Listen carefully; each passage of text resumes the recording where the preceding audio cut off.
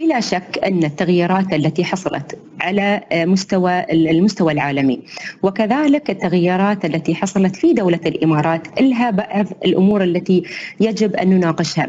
كذلك نشوف آه، بعض المهارات التي آه، ظهرت في المجتمع ونتكلم هنا عن مهارات التكيف مع الأوضاع، بقاء أفراد الأسرة في البيت لساعات أطول أدى إلى تقارب أفراد الأسرة مع بعض وهذا شيء إيجابي.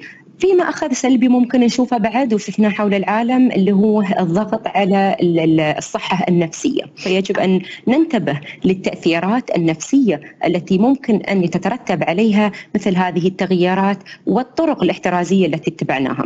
البقاء في المنزل لساعات أطول أصبحت عادة حول العالم، بمعنى ليس فقط مجتمعنا في دولة الإمارات اختلف ولكن المجتمعات والشعوب حول العالم اختلفت طريقة حياتهم اليومية. اليومية وبناء على دراسة تمت في شهر أبريل من عام 2020 بالتحديد في أقل عن ثلاثة أسابيع قاست ردود أفراد مجتمع دولة الإمارات من مواطنين وغير مواطنين.